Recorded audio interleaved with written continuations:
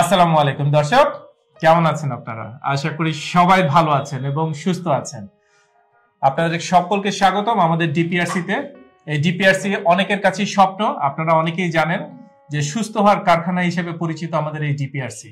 এর কর্ণধার হচ্ছেন ডক্টর মোহাম্মদ শফিউল্লাহ প্রধান, যার হাত ধরে হাজারো মানুষ, আসলে ফুল লাখো লাখো মানুষ সুস্থ হয়ে সুস্থ স্বাভাবিক জীবনে ফিরে গেছেন। দর্শক, আজকে আমার পাশে এখানে বসে আছেন আমাদের একজন ভাই যিনি দীর্ঘদিন যাবৎ এভিয়ান প্লাস আর্থ্রাইটিস এই দুইটাতেই প্রায় ওনার জীবন জর্জরিত ছিল। বিদেশ থেকে চলে আসতে পর্যন্ত হয়েছে একটা সময় কাজ ছেড়ে। অসুখ এতটাই তীব্র আকার ধারণ করেছিল। আসুন দর্শক ওনার সেই কষ্টের দিনের কথাগুলো শুনব ওনার কাছ থেকে। তার আগে আমরা একটু ওনার সাথে পরিচিত হয়ে নিই। আসসালামু আলাইকুম। ওয়ালাইকুম আসসালাম ওয়া রাহমাতুল্লাহ বারাকাতুহু। ওয়ালাইকুম আসসালাম। স্যার আপনার নাম এবং পরিচয়টা যদি একটু সুন্দর করে বলতেন আমাদেরকে।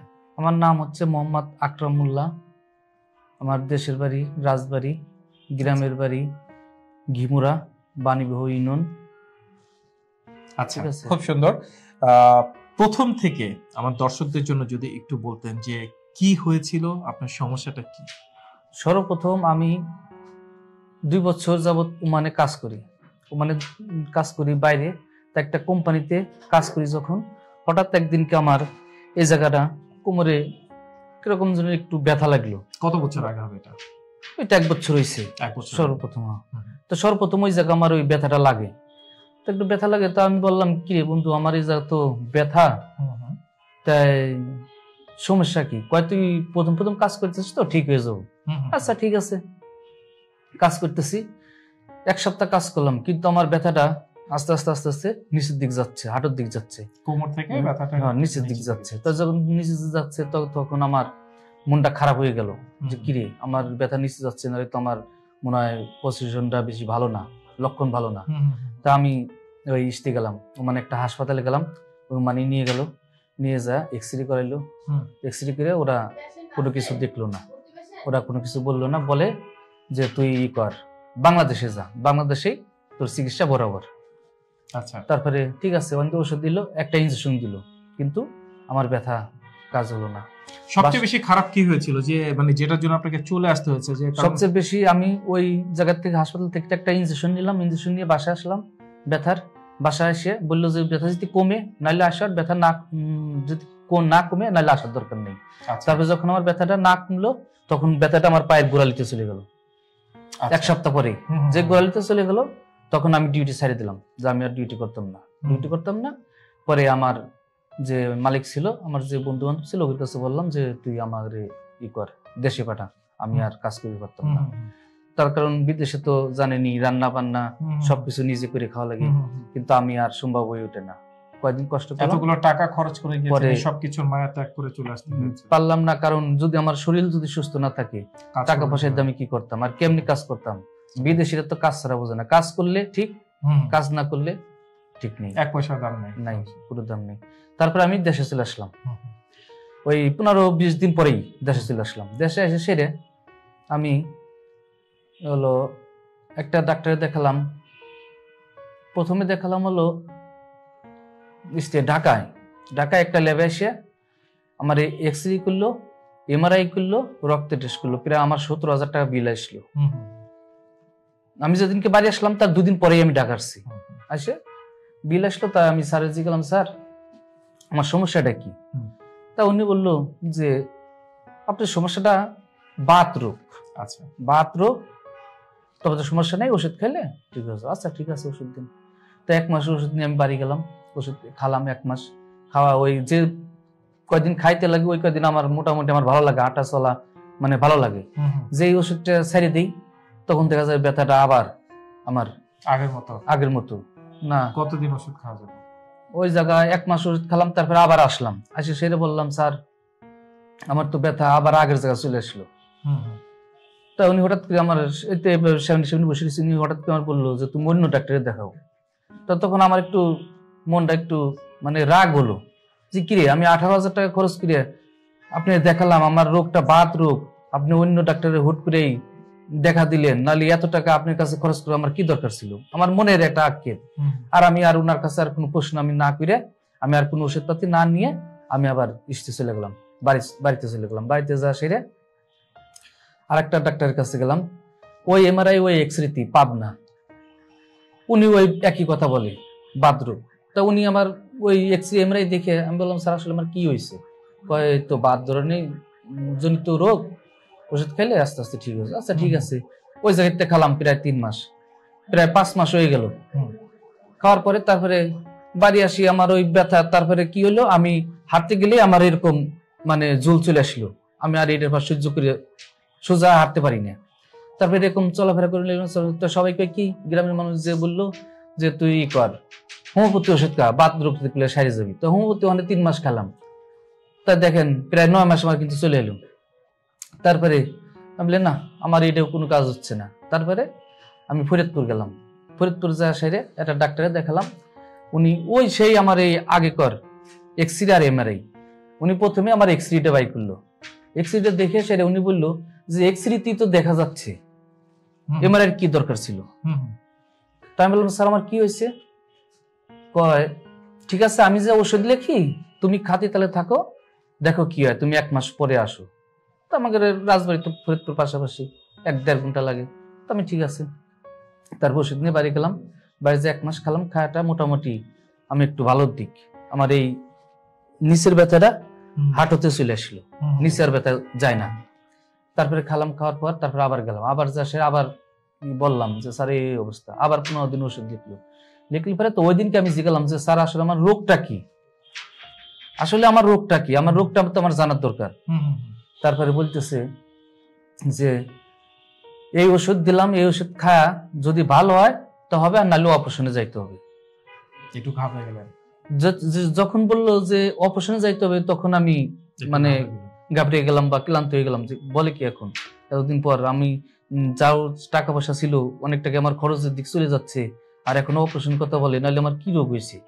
তাই এই কথা শুনে ওনার কাছে আমার মনটা খারাপ হয়ে গেলো। তারপরে আমি আবার বাড়ি চলে গেলাম।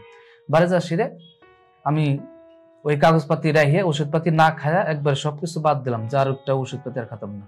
না খায়া আমাদের রাজবাড়ি একটা ডাক্তারের কাছে গেলাম। যা সেরে বললাম যে, স্যার, আজকে প্রায় বছর কাছাকাছি এসে ইসলামী অনেক ওষুধপাতি খাচ্ছি, আমার এই জায়গা ব্যথা যাচ্ছে না। আমি এখন হাঁটতে পারতেছি না। কয়, তা তুমি করো, একটা এক্স রে করে এসো তা এক্স রে করে আসলাম। এক্স রে করে আসার পরে উনি দেখে বলে যে, তোমার হিপ জয়েন্ট নষ্ট হয়ে গেছে। উনি এই কথা বললেন। মাথা আকাশ ভেঙে পড়ল। তারপরে আমার তো আরও খারাপ হয়ে গেল অবস্থা। যে বলে কি আমার হিপ জয়েন্ট ইয়ে হয়েছে নষ্ট হয়ে গেছে। তো এই কথা বললাম তো স্যার কি করা লাগবে? উনি বলল যে অপারেশন করা লাগবে। হিপ রিপ্লেসমেন্ট হ্যাঁ হিপ চেঞ্জ করা লাগবে। তো আমি বললাম স্যার কেমন কি খরচ? ওই দুই থেকে আড়াই লাখ টাকা লাগবে। স্যার এত টাকা আমি কই পাতাম? আর আমার এই বয়সে আমি এটা নষ্ট হয়ে গেছে। সামনে সারাটা জীবন পড়ে আছে। আমার কেবল আমার জীবনটা শুরু আল্লাহ না করুক এখন আমার অনেক সামনে আগেনের পথ আছে সময় আছে। তো এটার পরে উনি ওষুধ যদি যা লিখলো ওনাতে আমি আর একটা ওষুধও কিনলাম না। আমি খালি পিক্স ফি দিয়েই বাড়ি চলে গেলাম। বাড়ি চলে গেলে তারপরে বাড়ি যা সেরে এখন সবাই বলতেছে যে তুই অপারেশন হয়ে যা এত কষ্ট করতেছিস ওই রাত্রে ঘুমার পারতাম না। জ্বালা যন্ত্রণা, কান্নাকাটি করতাম। তারপরে সবাই বলে, তুই তো অপারেশন হয়ে যা। তা আমি ঠিক আছে। অপারেশন যদি হয়ে যায় ভালো আমি আরেকজনের সাথে পড়াশোনা সেও বলে যে অপারেশন হয়ে যা। তারপরে আমি আবার ঢাকায় আসি। ঢাকায় আসি হলো যে ইস্তি, নামটা ভুলে গেলাম। এই জায়গায় আসি, একজনের সাথে, এক ভালো একটা ডাক্তারের সাথে পরামর্শ করি, এই বিষয়ে বিশেষজ্ঞ। উনি বলল, ওই এক্সরে নিয়ে আসলাম, বলল যে হ্যাঁ তোমার হিপ জয়েন্টটা ক্ষয় হয়ে গেছে। এই কথা বলল। হিপ জয়েন্টটা ক্ষয় হয়েছে চেঞ্জ করা লাগবে। আচ্ছা ঠিক আছে, কত লাগবে? দুই থেকে আড়াই লাখ টাকা লাগবে। তা আমি বললাম ঠিক আছে, আমি বাড়ি যায় টাকাটা ম্যানেজ করে তারপরে আসি। তারপরে বাড়ি যা আমার আব্বার বললাম যে, এই অবস্থা আব্বা, এখন আর উপায় নেই আমার অপারেশন ছাড়া। আর আমি কষ্ট, কতদিন করব? আমার রাত্রে ঘুম হয় না খাওয়া দাওয়া করে পারি না হাঁটা চলা না করে পারি নাহলে আমার জীবনের কি কষ্ট, আর এত কষ্ট কতদিন করা যায়? আমার অর্ধৈর্য আমি আর সহ্য করে পারতেছি না। তারপরে কান্নাকাটি করতেছি, করার পর তারপরে টাকা পয়সাও মানে কয়েকজনের বলছি যে আমার টাকা পয়সা ম্যানেজ কর, আমি অপারেশন হব তারপরে এটা বলতেছি, আমাদের পাশের বাড়ি, হিন্দু বাড়ি, একটা পোলা আছে, নাম হলো উত্তম। তো আমার আমি বাড়িতে এই পাশে উঠানে আইসি ও আমার ডাক্তার আকরামের দিকে আমার সমবয়সী আকরামের দিকে তোর রোগটা কি? আজকে এতদিন তো তুই চেষ্টা হচ্ছে আর যে যে করছি সব আমি একা একাই নিজে নিজেই, জায়গায় জায়গায় যা করে আমি নিজেই একাই করি।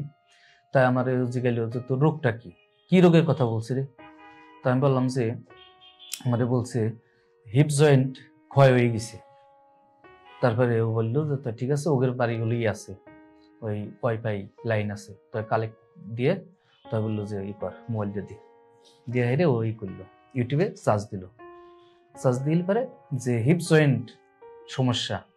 তো এই কথা বলার পরে ওই হিপ জয়েন্ট সম্বন্ধে সব সিরিয়াল বাই সিরিয়াল সব ডাক্তারের আলোচনা আসতেছে। তা আসতেছে। তা এখন ও বলতেছে যে, দেখ কি বলে? শোন, আমু দেখি, শুনি, কি বলে? তারপরে একটা ডিসিশন নিশেষ যে অপারেশনে যাবে কি না বা কি আশায় বিষয়, আমরা দেখি। তারপরে প্রায় আমরা আটটা থেকে নয়টা, সাড়ে নয়টা পর্যন্ত রাত আমরা দুজন দেখতেছি আর শুনতেছি। শোনার পর এখন আমি বললাম যে, ঠিক আছে, আর শোনা লাগবো না। এখন একটা ডিসিশন আমি নেব। কি ডিসিশন আমি আর ই করতাম না অপারেশনে যেতাম না। তাই আমি আরও কয়েকজনের ডাক্তারের নাম শুনলাম, দেখলাম, সবারই বক্তব্য শুনলাম। তাই ওই উত্তম আমার জিজ্ঞাইতেছে তোর কোন ডাক্তারের ভালো লাগে?